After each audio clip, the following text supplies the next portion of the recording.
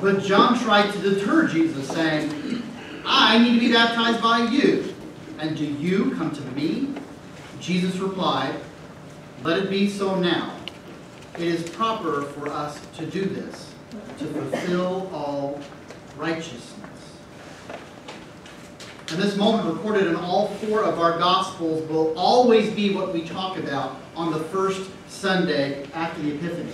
So as this Epiphany season starts off, as we have moved past, you know, Christmas and baby Jesus lying in the manger and the shepherds and the angels and the wise men have gone on home, we begin the public ministry of Christ.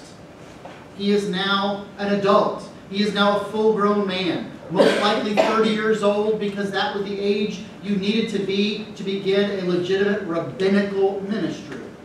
And so the public ministry of Jesus, the, what we think about when we consider the gospel story, who Jesus is and, and what he did, the, the, the teachings and the preachings and the, the miracles and, and everything that will move towards building the kingdom of God and then in Jerusalem with his crucifixion, sacrifice, his death, his resurrection. This is really where it starts.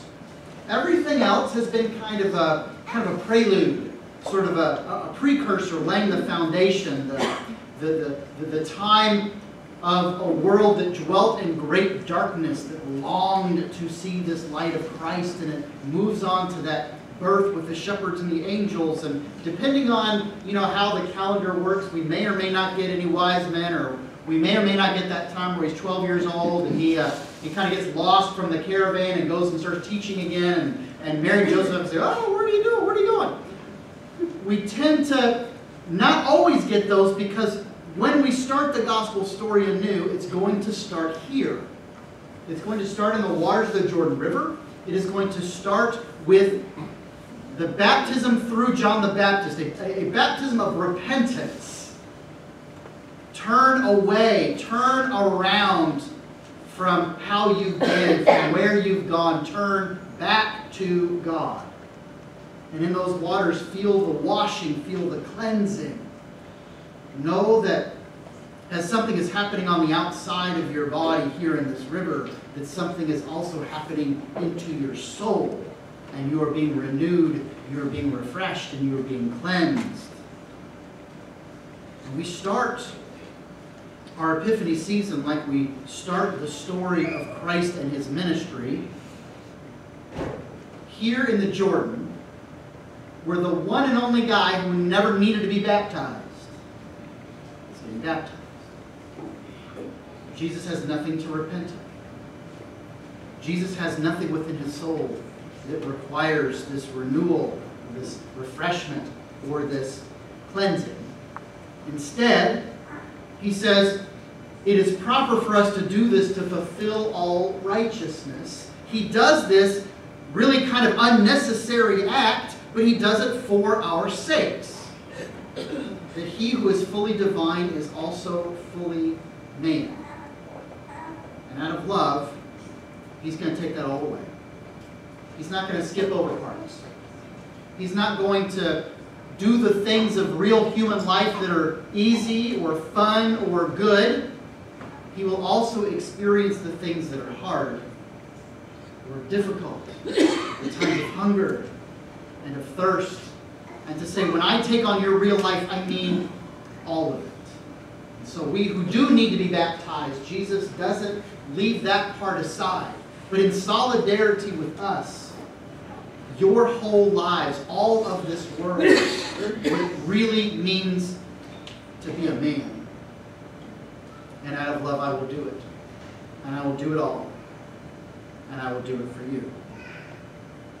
And so, because this always happens every year, you know, no matter what the uh, lectionary cycle or whatever happens to be, I have preached on the baptism of Christ a lot.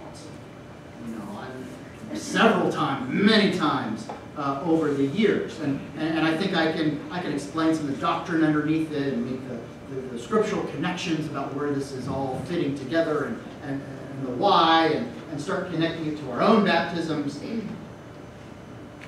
And I've preached about it a lot, and I think because I believe it and I trust in it. But then just over a year ago, I went into those waters. Now, I try to use my Israel trip very sparingly. I don't want this to be like, you know, kind of regular sermon travel logs. But every now and again, something happens or something comes up, and I, and I feel like I almost have to.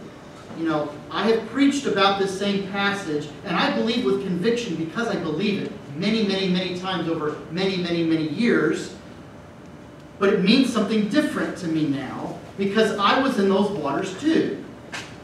And it's an almost indescribable feeling, and it seems almost pointless to talk about it, but at the same time, I feel like I have to. How can I not at least try? So, this happened in our tour group, sort of late within our time. We've been together for several days, and we had the opportunity then to go to Yarden. Yarden is a, it's a facility built there on the banks of the Jordan in a particular spot that the, the government of Israel sort of set up, knowing that pilgrims come from all over the world all year long, hoping and waiting and desiring to just be in those waters. Some of them to be baptized for the first time, some of them to just feel what it must have felt like to walk in the footsteps of Christ. And so, you know, we drive the tour bus into Yardenit, and it is a tacky, tacky tourist trap. Now, I'm an Orlando boy, born and bred. I know tourist traps. My professional opinion was that this was a tourist trap. And you, like all good tourist traps, when you get in there, you're there for a reason, for a purpose, but before you can get to that reason and purpose, you first have to walk through a gift shop. That's right. So you do. You walk through this gift shop. And it's, it's, it's kitschy, and it's tacky, and this is not the first time in the Holy Land where you have been inundated with kitsch and tackiness. You know, you can't hardly go to any of these sites without someone on the street hawking their wares. And, you know, they've got everything from, you know, well, this is a piece of a true cross, to this cross is made of pure gold, to this was probably one of Jesus's real diapers, and honestly, it's only 10 bucks. It's a deal. So you kind of see this a lot. And, and after a while, I think it's very natural to have a kind of way on you. You know, you are there. I was there for this holy experience. And, and, and people travel from all over the world. And people have done so for hundreds upon hundreds of years to just be in that spot. I want to see what Jesus saw. I want to stand in a place that I think he stood in or, or touch a stone that existed when he was there. And it's amazing and it's powerful, but at the same time, all the crass commercialism is also all around you. And I think it's real natural to sort of get a little discouraged. And I, we get into the gift shop, and I'm starting to, my feelings are starting to ebb and flow. You know, it's like it's kind of a downer. Like, ah. You know, they want to sell you like souvenir spoons and things, and it just seems like it's very sort of cheapening the whole thing. You know. And so now my attitude is starting to be not so great, and I'm starting to get a little disappointed and frustrated, and it's it's just why take something so beautiful and holy and you, are making it kind of cluttered and you're making it kind of tacky and you're just trying to score a quick buck and ah. And then you get past the gift shop. And it opens up there on the banks of the river. And there's places built to sit. And there's a convent that, that runs this little operation. And and it, it, runs very, very smoothly because, again, it's thousands upon thousands upon thousands of people every single day. And you, you know, pay a little bit of money and you get this kind of white baptismal gown. And then you go as a group into your seating area, and then you go into the waters.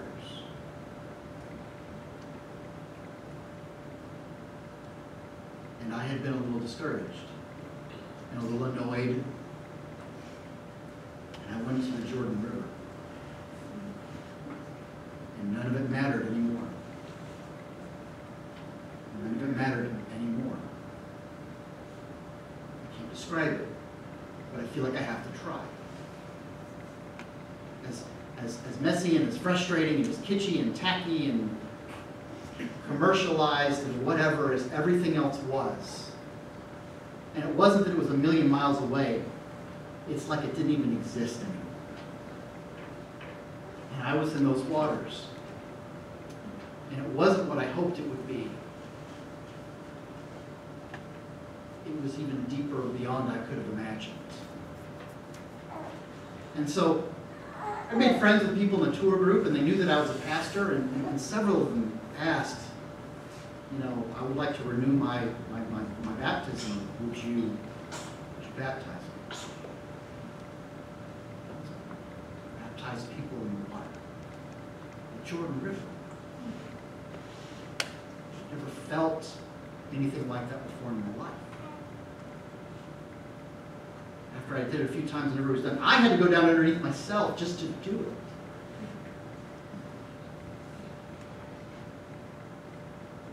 The power and the holiness and none of that other stuff mattered because this was real and this was true. And in that moment, it was not academic. It wasn't something I had read. It wasn't something I had thought about. It wasn't something that I had preached on before. I knew it. I was there.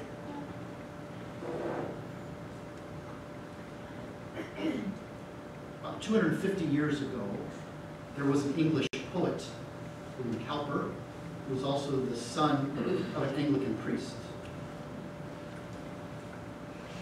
He wrote the words to the song that we heard during our intro. A song that's often associated with baptisms or a baptismal service. There is a fountain filled with blood, drawn from Emmanuel's veins, and sinners plunged beneath that flood lose all their guilty stains.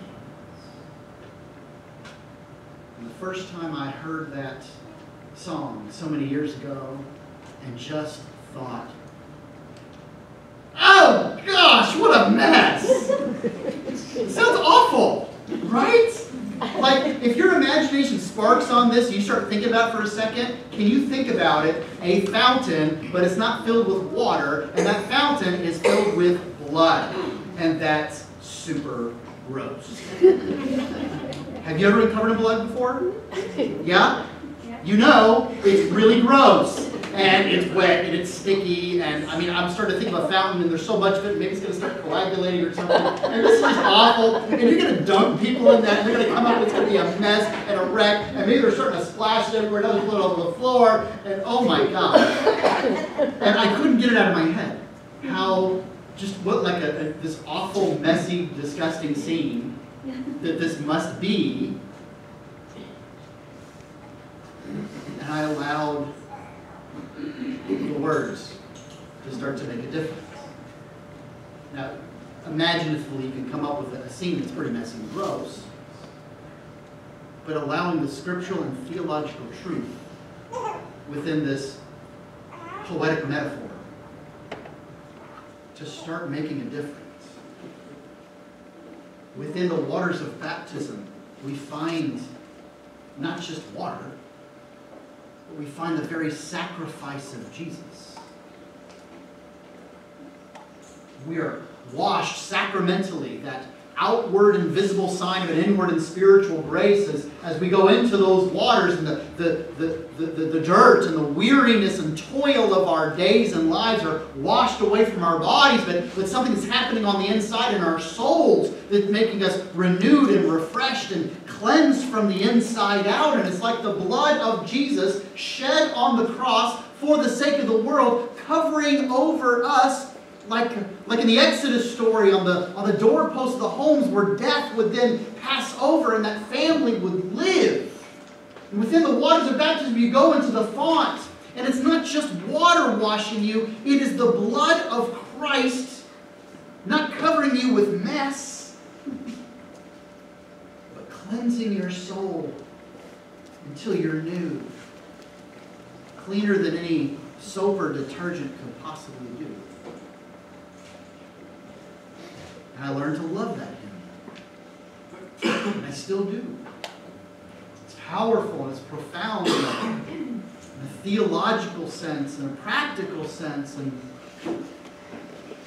and in a small way, it's part of the reason why I, I love doing baptisms, and, and frankly, I do them that weird, crazy way that I do. We bring out that big old font, the big old bowl, and I start splashing around, right? You've, I, I'm assuming everyone here, almost everyone here, has seen me do a baptism. I'll take the pitcher of water and I'll raise real high and real high. The water starts splashing, and then I'll when I, when I touch the waters for the blessings or say the, the, the flood prayer, first written by Martin Luther, and, and I start throwing it around, and, and, and, and the kids start to gather in, you know, because number one, baptisms are interesting, the kids want to see it, and number two, I sort of established a, a Shamu splash zone. They all want to get wet. And so I'm this get everywhere, and I've got water slopped all over the floor, and it's down my sleeve, and my, my poor prayer book. You know, it's all waterlogged still. You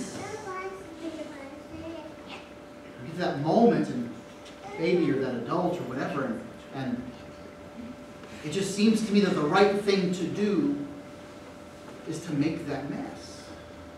That it's not just a little drops on the forehead.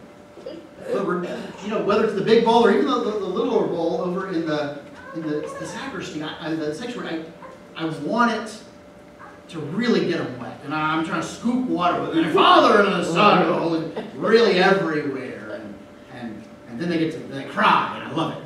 I like when they cry. Because when they cry, it's, you know it's something big happening. And um, I've, I've never had to pinch a child, but I've thought about it. You get this one like perfect little angel with the, their little beatific faces, and the, the water goes on them, on this you know, perfect little brow, and everything. I just want to shake them up a little bit, like, kid, don't you know what's going on? It's a big deal. Big deal. We ought to see it and understand it and know it and feel it as a big deal. And I'll talk about making this big mess, and maybe I do it because I'm just a big dumb kid at some level, and I like making a mess, and it's true. And, and maybe I make a mess because I'll, I'll talk about how the, the, tradition of the church, you look from living water, water that was moving and flowing and rushing, and it had that image and metaphor that was very, very personal and concrete about the, the power of the Spirit and the, the, the renewal of life.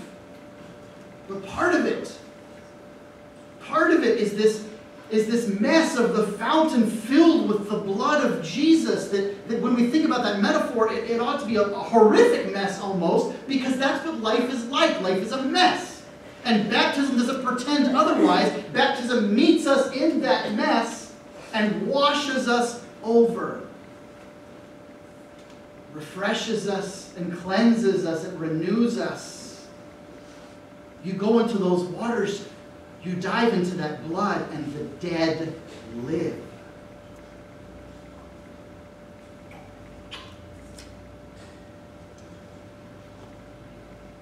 Life is a mess. You know? It's hard. And things happen we can't control.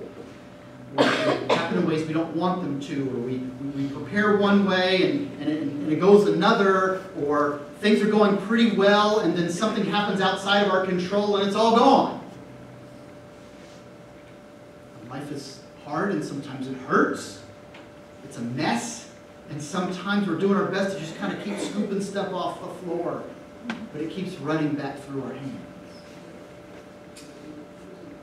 And life is a mess because we suffer. Sick and weak. Worried and anxious about what's going to happen later today or the days to come. Life is a mess because the people we love hurt and suffer. And for my money, that's always worse. Give it to me. Give it to me. I'll take it. Please, please. Enough. I don't want them to hurt anymore. I will do it. Let them be okay. It's a mess. And yet, what happens in baptism? But God does not deny our mess. He meets us deep in the mess. Maybe unnecessarily so. The one guy who doesn't need to be baptized, this is how his public ministry starts by being baptized. By jumping into our mess, jumping into our lives, taking on what he doesn't need to do, but he does so out of love. And only by doing that are we ever rescued from it.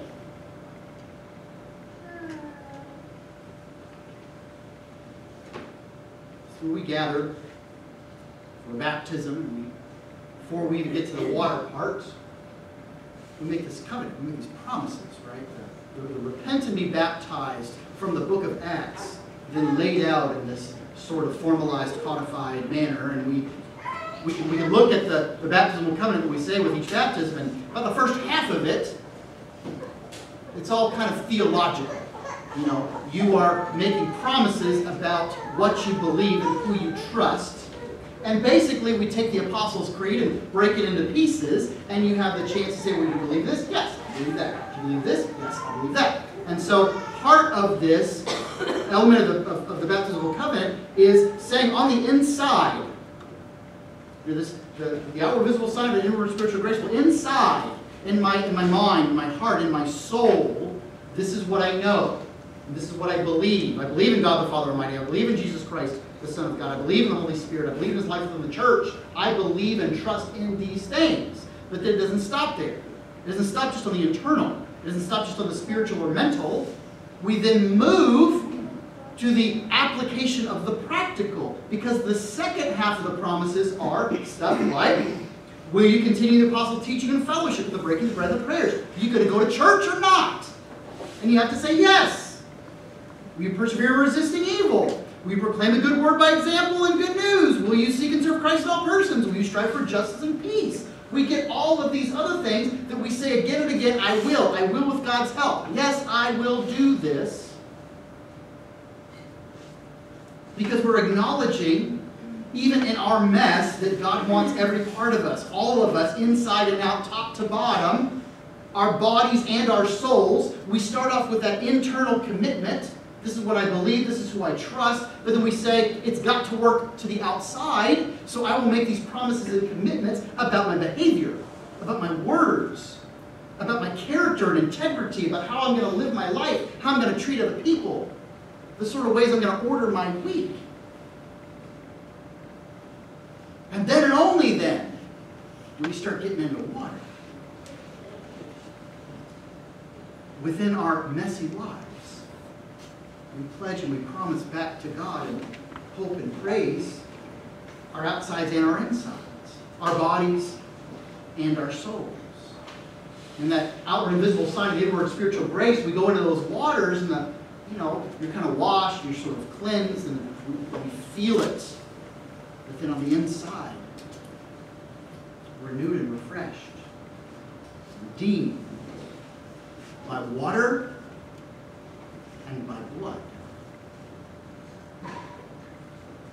Maybe I make a mess because I just don't know a better way to convey what I think is happening and just how important it is. I don't know, maybe a, few drops or a little pour, won't make that much of a difference, but to me, so significant, so powerful, so profound. How can it not just spill out into everyone and into everything? That if we trust what this means, then yes, that fountain is filled with water, but it is also filled with the very blood of Christ. And through his life, death, and resurrection, we can go in there in that mess. Be made clean. And we can live. so that same hymn starts off so messy. It ends like this. When this poor, lisping, stammering tongue lies silent in the grave, then in a nobler, sweeter song, I'll sing thy power to save. At the end of our lives, when the mortal part of us is now done and complete. The end of the song, at the end of our lives, it will be in praise. Because within our Mass, the blood of Christ has come through our baptisms, and the dead will live. The ministry of Christ, it all starts here.